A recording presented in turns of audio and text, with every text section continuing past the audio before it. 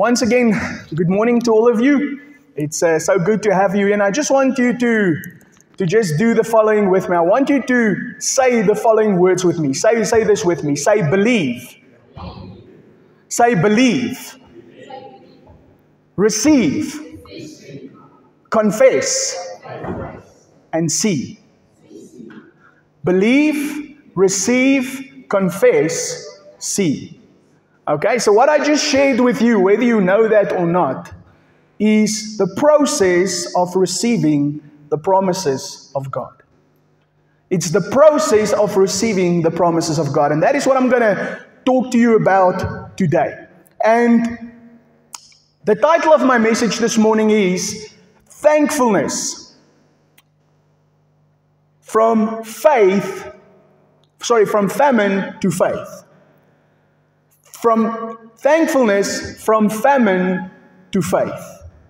Okay, and that is what I believe that God wants to do for us in this season that we are in. So, how many of you would agree with me that there's famine in the world today? Okay, we're going to talk about that today. So, first of all, let me just give you a scripture 1 Thessalonians 5, verse 18. It says the following It says, In everything, everybody saying everything. Give thanks, for this is the will of God in Christ Jesus for you. In everything. You see, I don't know if you know this, but the Greek word for thank is actually the same Greek word is charis. Okay? Charis. And charis is the same word that is used for grace. It's the same word in the Bible that is used for grace. So, to, if you are full of grace, you are full of thanksgiving. If you are full of grace, you are full of thanksgiving. And God wants you to give thanks always. He wants you to give thanks always, even when things don't go well with you. Okay, listen to this. God doesn't expect you to give thanks for the circumstances, He expects you to give thanks in the circumstances. Okay, and there's a big difference. God doesn't want you to give thanks for the circumstances, but He wants you to give thanks in the circumstances. You see, we choose that spirit of thanksgiving because we believe that God is faithful. How many of you believe that God is faithful? How many of you have seen that God is faithful? See, God is faithful and He is able to work out all things for our good. Doesn't matter what happens to you, God will work it out for your good if you are thankful. You see, once again, our tendency is to see that in the 10 good things that is happening to us, we see the one negative thing and then we focus on it and we fixate on it. We fixate on it. And we tend to look at what we don't have instead of thanking God for what we do have. You see, we need to understand that when we thank God for what we have, even the five loaves and the few fish that we have, the small that we have, will be multiplied. So, once again, you remember when Jesus fed the 5,000 people? That's exactly what he did. He gave the Father thanks for the little that he had, and it started to multiply. So, what we need to do is, is that we need to cultivate a spirit of thanksgiving. And this is the time that we are in. And this is what Pastor Michael has also been preaching about. Thankfulness, regardless of circumstances. Thankfulness, regardless of what is happening around us in the world. Thankfulness is your lifeline in this time, in this season that we are in. You see, instead of complaining, about your aches and your pains in your body. You know, how easy is it to focus on that? Instead of complaining about the aches and pains your body, why don't we start thanking God for the parts that actually do work? Instead of complaining about the little that you have in your bank account, thank God for something in your bank account. Okay? Once again, when we count our blessings every day, when we thank God for what we do have, then that begins to multiply. And our focus starts to change. You see, that's very important that our focus needs to change. Not on what we don't have, but on what we do have. And in Christ, we actually have everything. You see, so not only will that give you more joy, I don't know if you've noticed that. When you focus on the good things in your life, all of a sudden you start getting more joyful. Your joy starts to increase. Okay, when you focus on what you don't have, how has that been working for you? Does it make you feel better or does it make you feel worse? Okay, it makes you feel worse. But when we focus on what the good that God has for us, then it starts to multiply. So, multiplication will come. And what I'm saying to you with that is that it is very important that we believe right. It is very important that we believe right with regards to God and His Word. You see, the problem we have a lot of times is, is wrong believing. And when we believe wrong, the problem is we behave wrong. When we believe wrong, we behave wrong. But when we change our beliefs, then our habits and actions and all those things starts to change. So it's all about believing. And that actually what I'm talking to you about is the power of the gospel. It's the power of the gospel of Jesus Christ. Romans 1 verse 16, Paul said, he said, I am not ashamed of the gospel of Jesus Christ, for it is the power of God unto salvation.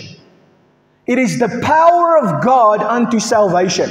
Now, sometimes when people hear that, the only thing that they think is, Praise God, I'm going to heaven. But, and that's good. Okay, it's good to go to heaven. It's where you want to go, it's where you want to be. But salvation, the Bible says salvation, the Greek word is soteria.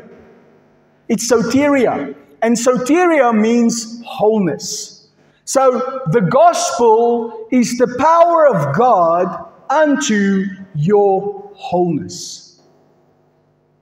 It is the power of God unto your wholeness. And this gospel is the gospel for the world. This gospel is not limited to a certain individual. It's not limited to a certain church. It is the gospel is for all who believe. It is for all who believe. You see, what God does for someone else, He wants to do for you. What God does for someone else, He wants to do for me because it is the gospel. The gospel is for every single person who believes. So the key is to believe. And listen to this. I know it may not seem like it in the day and age that we are living, but God is a good God. God is a good God. And listen to this He loves you so much that He sent His Son for the sole purpose of dying for your sins. He sent His Son for the sole purpose of dying for your sins. And I want you to remember this that God loves His Son. God loves His Son. I don't think we know how much God the Father loves His Son. God loved His Son so much that He opened up the heavens above the Jordan River when He was baptized. God opened up the heavens above Him and He said these words He said, This is my beloved Son in whom I'm well pleased. That is how much God loves the Son. And listen, even though God loved the Son so much, He gave up His Son for you. He gave up His Son for me.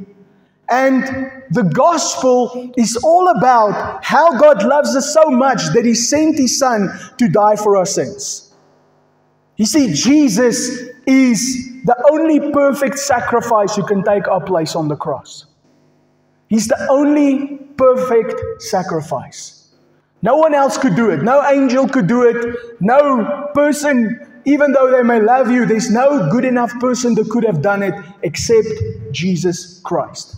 And God sent him to die for us on the cross. And when you accept him and his finished work on the cross, the Bible says you become born again. You become born again. And when you become born again, you become a new creation. You become a new creation. 2 Corinthians 5:17 says, "Therefore, if anyone is in Christ, he is a new creation. The old things have passed away, behold, all things have become new." You see, when you become born again, God starts to change you from the inside out. You become a new creation. Now, listen to this, and I think you all know this that you still sometimes experience a desire to sin. Okay, don't look at me all holy. Okay, we still experience sometimes a desire to sin, but even though you experience that desire to sin, God no longer sees you in sin, but He sees you as the righteousness of God in Christ Jesus. So say that with me. Say, I am the righteousness of God in Christ Jesus. You see, it's not about focusing on us, it's not about focusing on everything we do. It's focusing on what Jesus did. Okay, you see, our faith in Jesus' finished work is what pleases God. Our faith in Jesus' finished work on the cross is what pleases God. When you receive what Jesus did for you, it starts to change everything.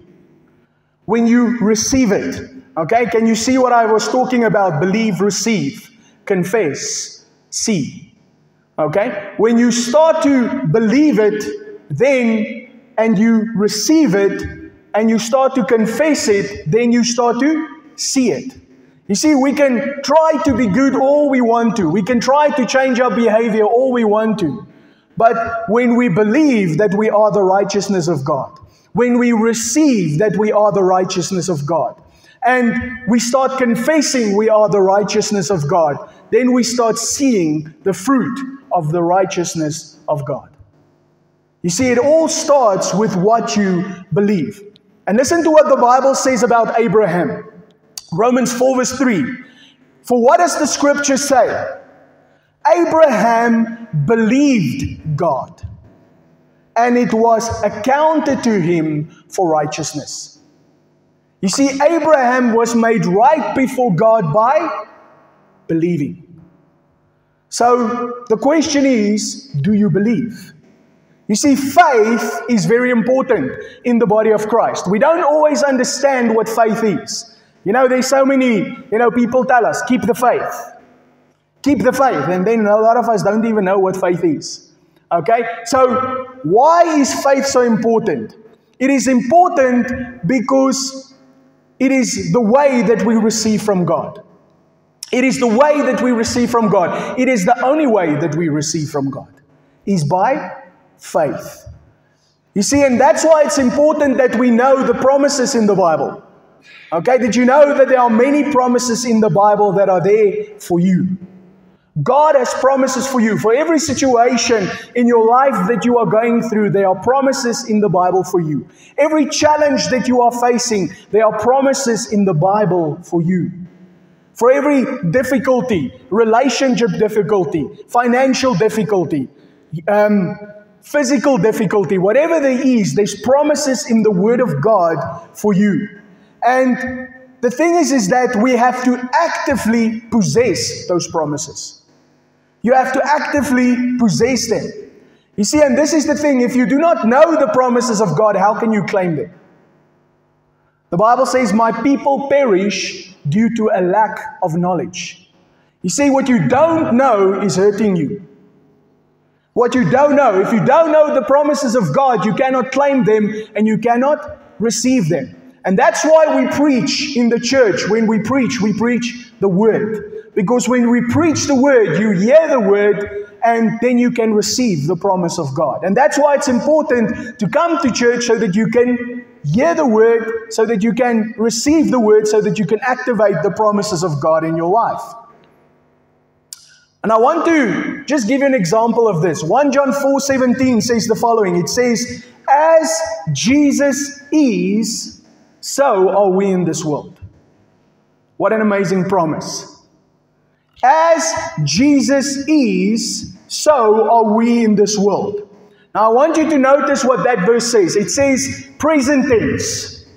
Present tense. It says, as Jesus is. Not as Jesus was. Wouldn't that be great? Even as Jesus was. When Jesus was on the earth, he was walking on the earth, he was doing miracles, he was raising the dead, he was healing the sick. So even as Jesus was would be good. But that's not what that scripture says. It says, as Jesus is, so are we. Okay, listen to this, not somewhere out there.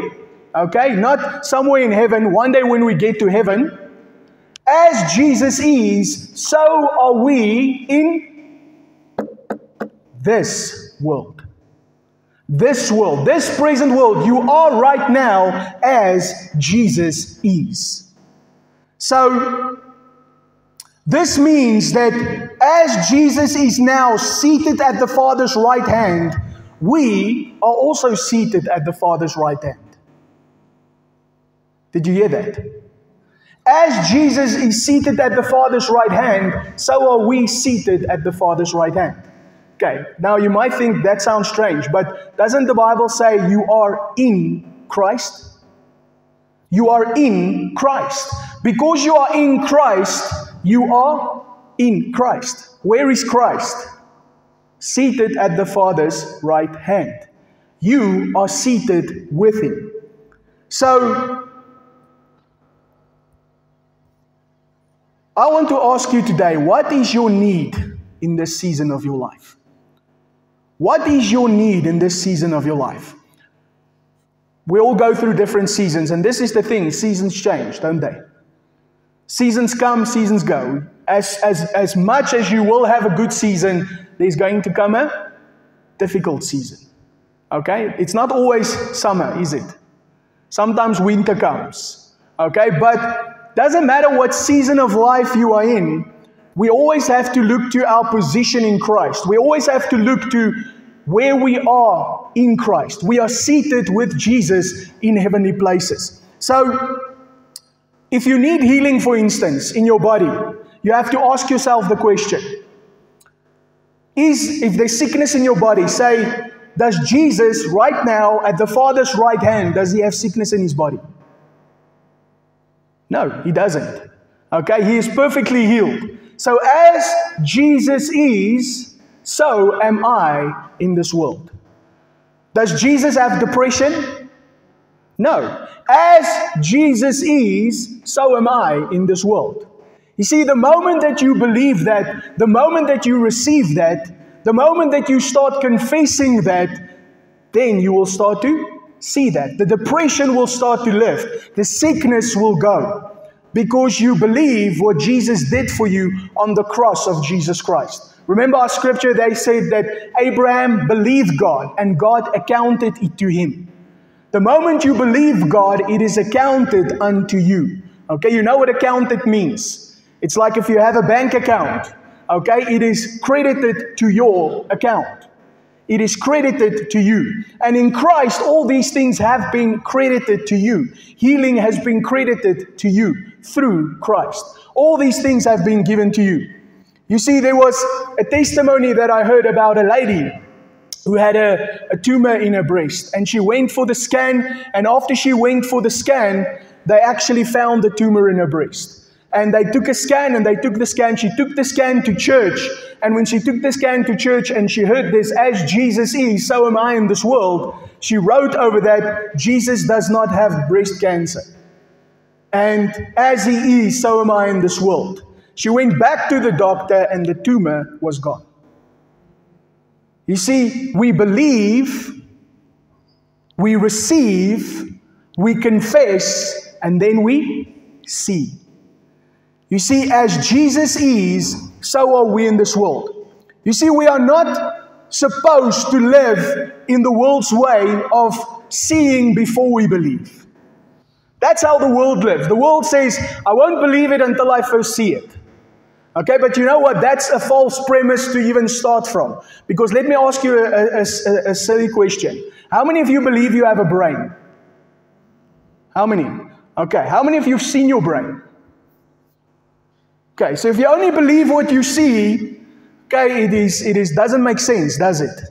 You see, we can't only believe what we see. We, we believe a lot of things without seeing it. And that's the same with faith. Faith is not, we don't live according to the world's ways, we live according to God's ways. God's way is to believe it first and then you see it. Not to see it first and then believe it. Okay, that doesn't require faith, by the way. Okay, to, to first see it and then believe it. You see, the visible manifestations of God's blessings in your life will start with faith. I'm going to repeat that. The visible manifestations of God's blessing in your life will start with faith. If you want to see the visible manifestations of God's blessings in your life, it's going to start with faith. You see, even this building, years ago, there was not a building. Then the church decided we are going to build a building. Okay? Even though there was nothing, it started by faith. And then today, you can sit in this building because someone believed for this building to be built. And this building today is built so that the church can gather. It wasn't here, it wasn't painted, we didn't have carpets, we didn't have chairs, none of these things were here, but we believed God. And because we believed God, we saw the manifestation of what we believed. Yes, there was the process of time, but it manifested because of faith. Okay, it manifested because of faith. And just by the way, the gathering of the church is God's idea. Okay, coming to church is not man's idea, it's God's idea.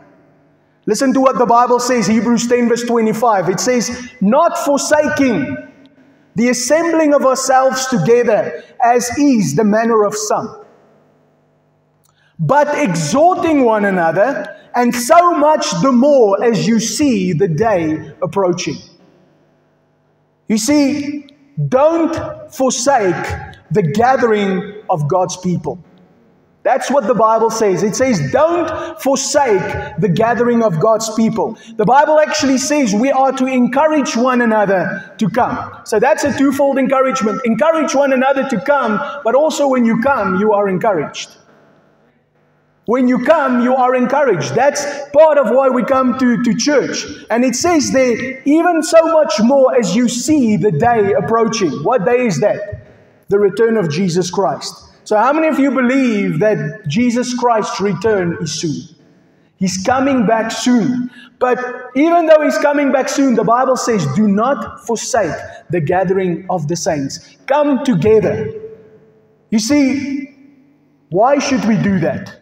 Because listen to what Peter 5, 1 Peter 5 verse 8 says. It says, Be sober, be vigilant, because your adversary, the devil, walks about like a roaring lion, seeking whom he may devour. Okay? So the Bible describes the devil as a roaring lion. Okay? He's only a roaring lion. Okay? He doesn't have, Jesus pulled his teeth. He doesn't have teeth anymore. Okay? But he's a roaring lion. He makes a lot of noise. But the problem is people listen to the noise. People listen to everything that he does, and he brings fear into your life.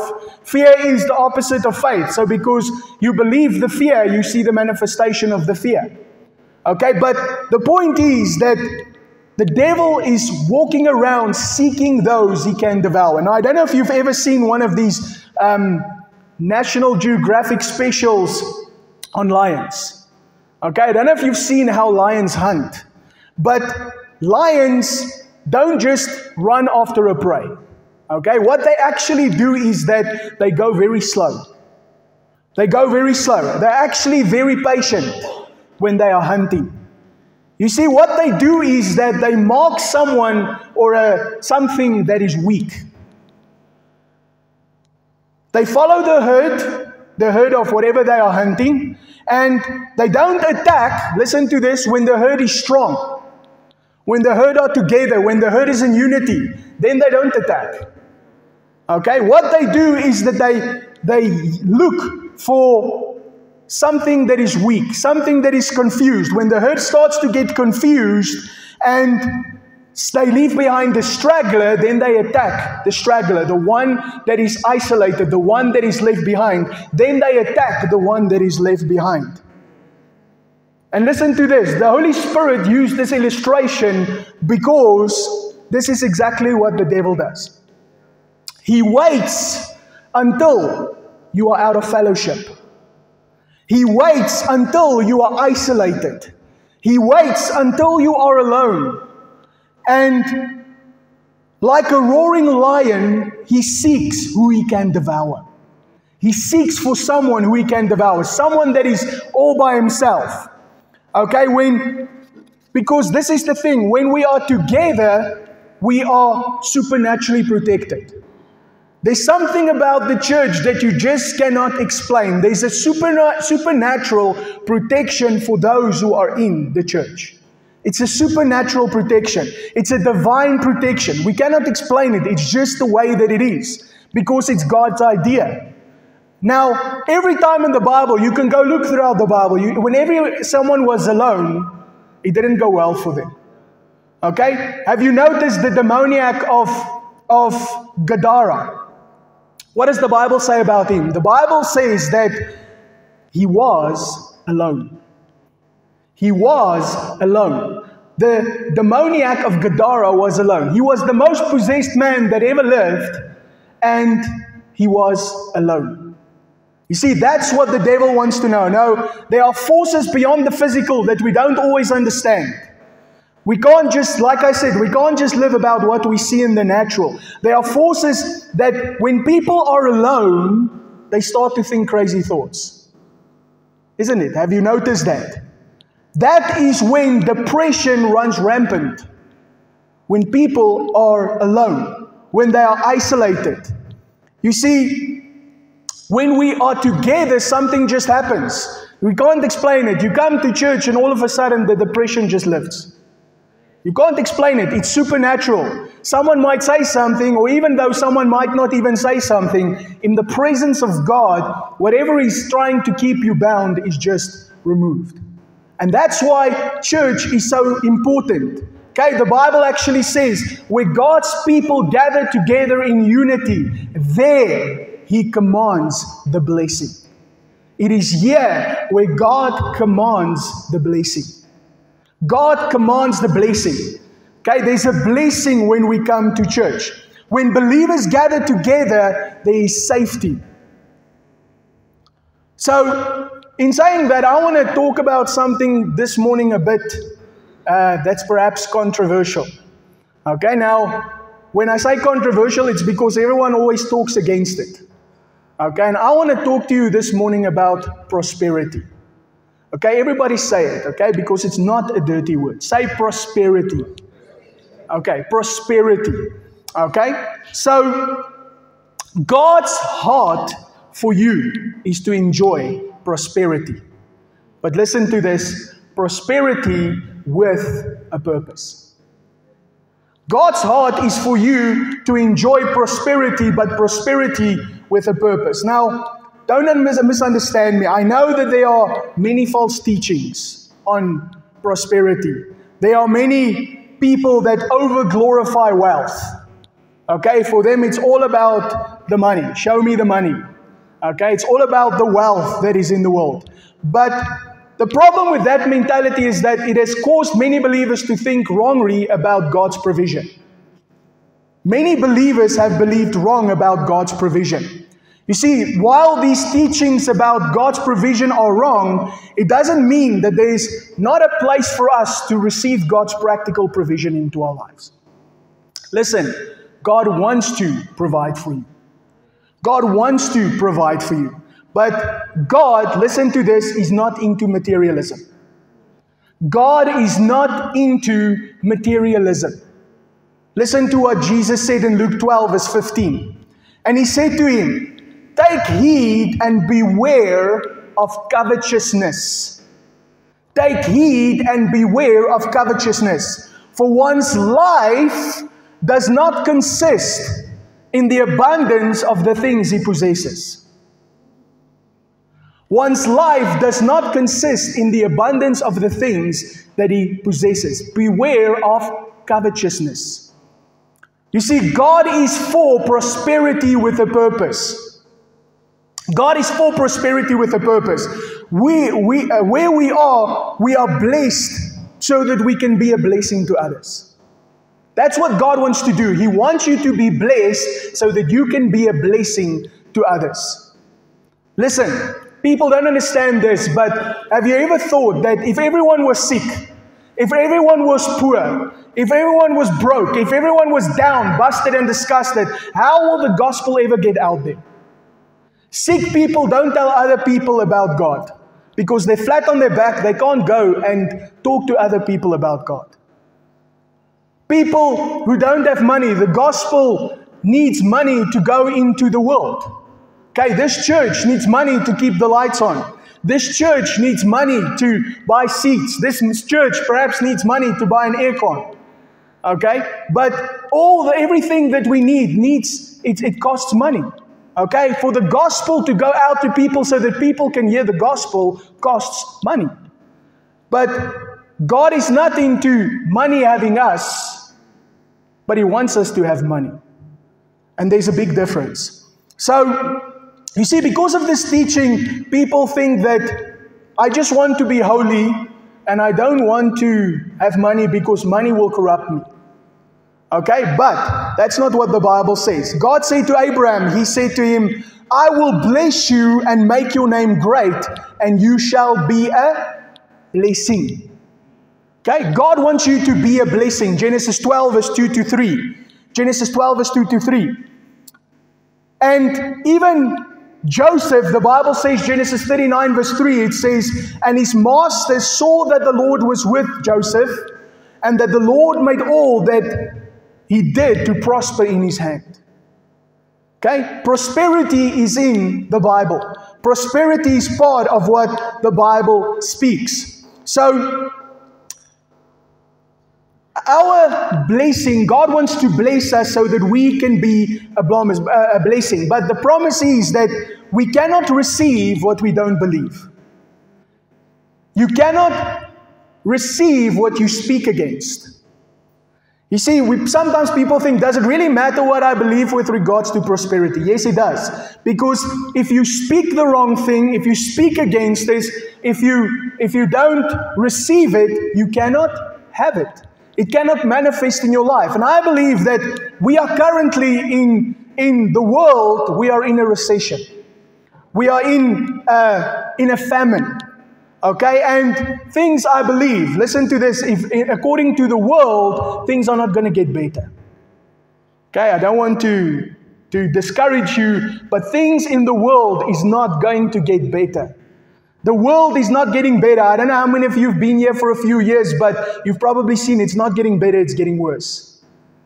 Okay? But as things get worse in the world, the Bible says in Isaiah 60, it says, Arise, shine, for your light has come, and the glory of the Lord is risen upon you.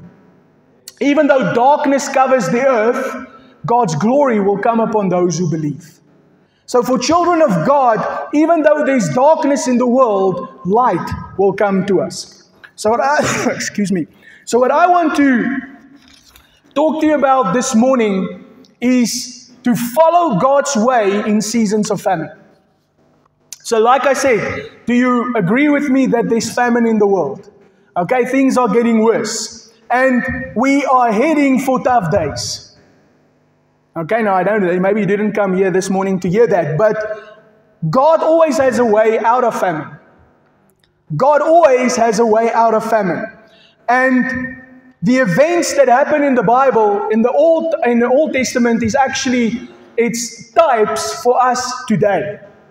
So we can see a story in the Old Testament that is actually speaking prophetically to us today. And one of those stories that I want to share with you today is the story of Isaac. Okay, and listen to this Genesis 26, verse 1. It says, There was a famine in the land, besides the first famine that was in the days of Abraham. And Isaac went to Abimelech, king of the Philistines, in Gerar. So we see that Isaac comes into a place and there is famine. Okay? Now, the famine in Isaac's time was very severe. It was severe. And it was a time when people didn't have enough to eat, even because the crops couldn't grow. The famine uh, in Isaac's time is actually important for us to study because Isaac is actually a picture of us. Did you know that? Isaac in the Bible is actually a picture of us. Listen to what the Bible says.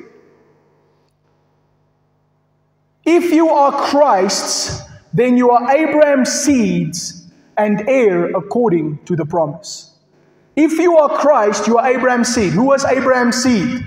The Bible calls those of us who belong to Christ, we are Abraham's seed. And the clearest picture of Abraham's seed that we can see in the Bible is actually is his direct descendant, Isaac. Okay, and when we study how Isaac dealt with famine, we can actually find wisdom to unlock God's promises of provision even in times of famine. Okay, the Bible always gives us wisdom. Genesis 26, verse 1 to 3, I'm going to just read it all again. It says, There was a famine in the land besides the first famine that was in the days of Abraham. And Isaac went to Abimelech, king of Philistines in Gerar. Then the Lord appeared to him and said to him, Do not go down to Egypt. Live in the land of which I shall tell you. Dwell in this land, and I will be with you and bless you for you and your descendants.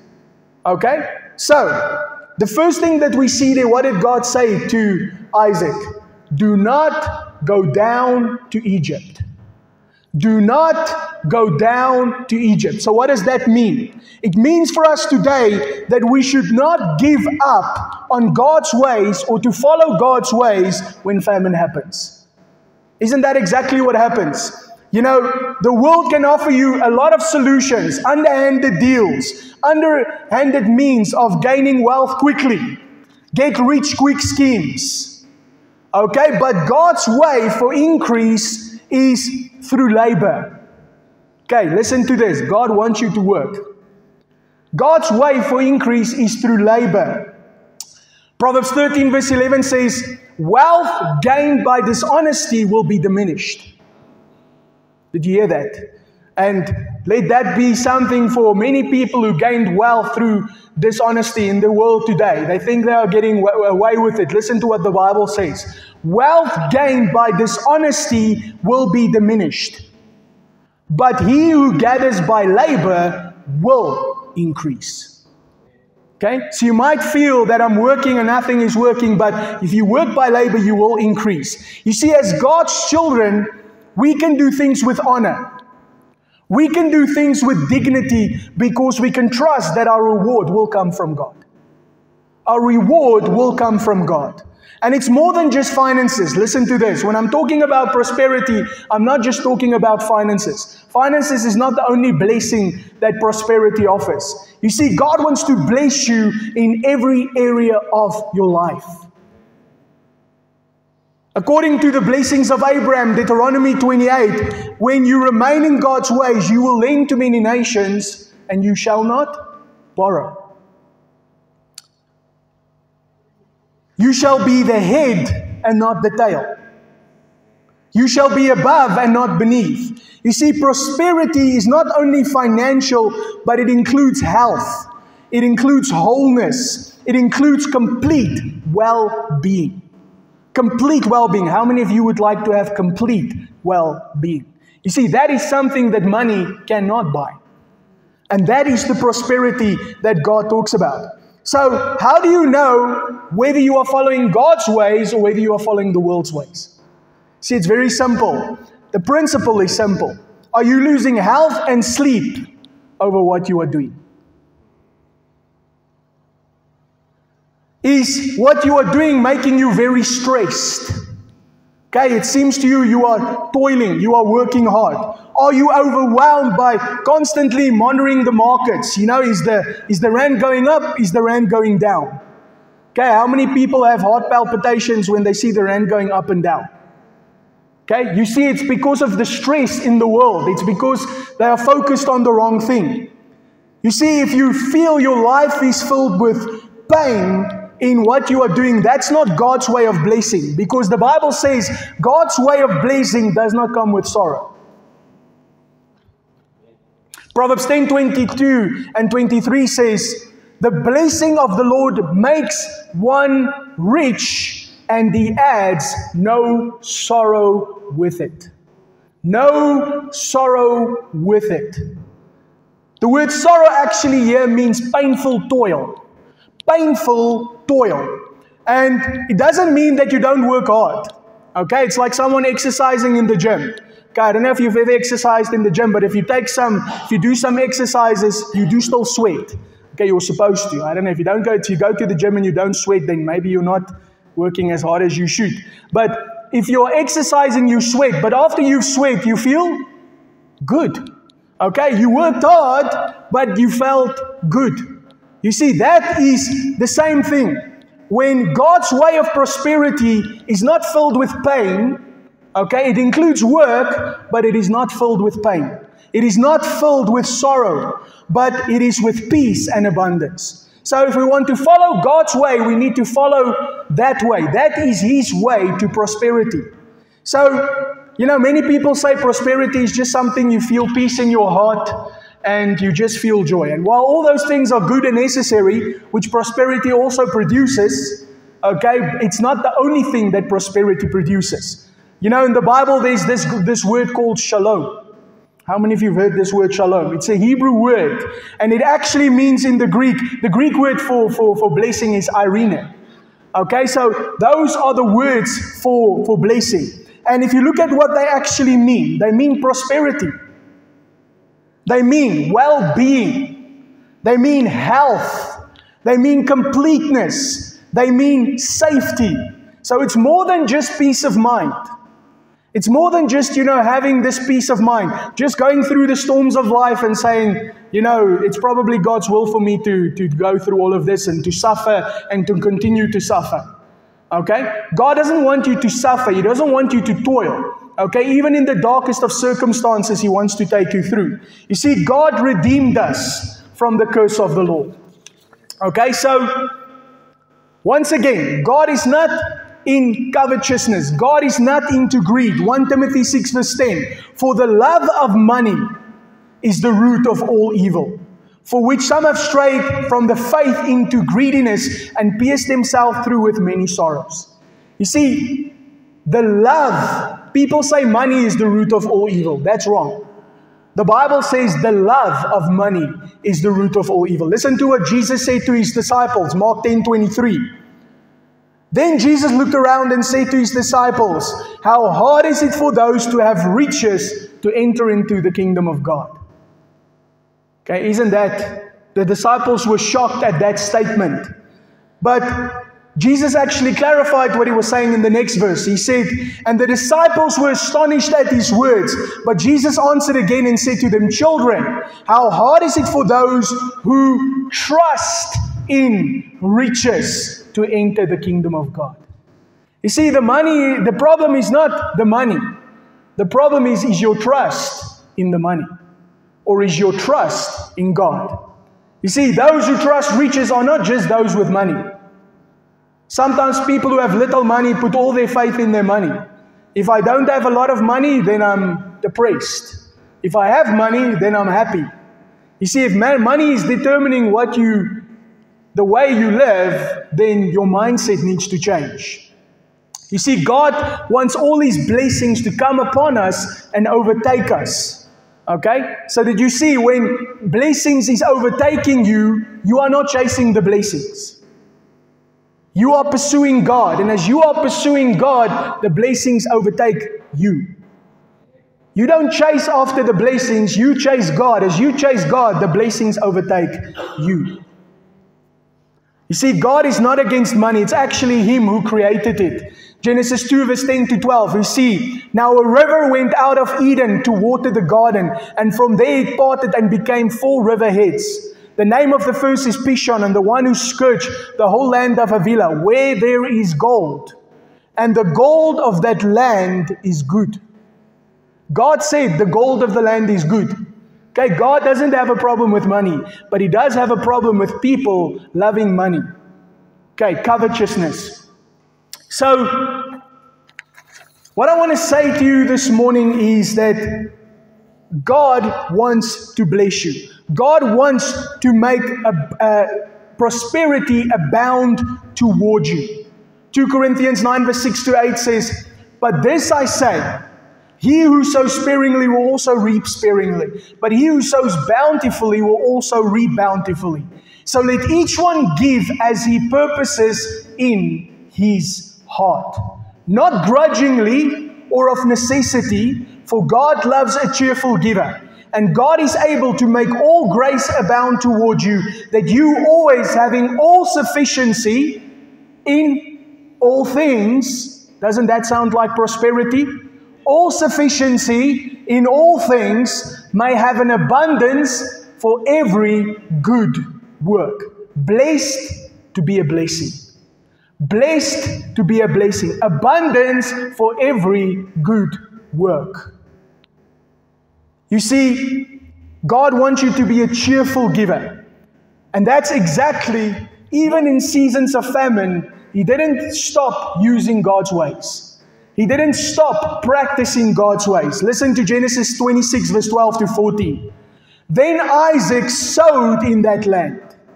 Now, I just want to show you quickly a picture of that land. I don't know, I don't think we know what that land that Isaac sowed into looked like. Okay, now you can't see it very nicely there. Okay, it's actually, it was a desert land. There were so many cracks in the earth that you couldn't even see the soil. You couldn't see the soil. It was, it was a dry land. It was a parched land. There was nothing. There's no natural way that you could have sown in this land. But Isaac sowed in this land and he reaped in the same year a hundredfold. In the same year, he reaped a hundredfold, and the Lord blessed him. The man, and listen to what happened.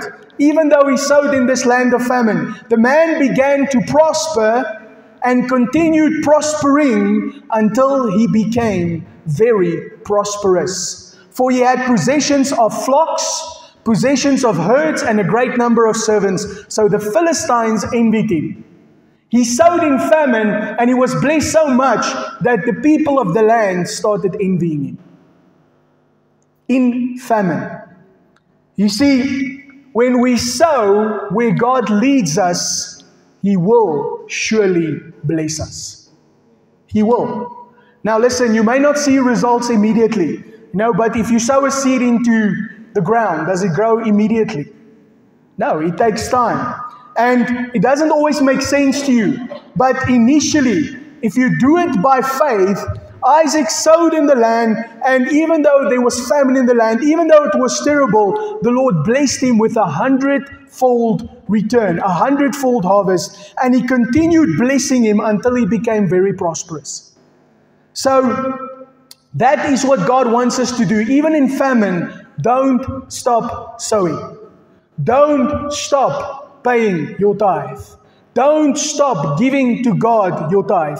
You see, those are the things that is going to keep us sustained even in this time.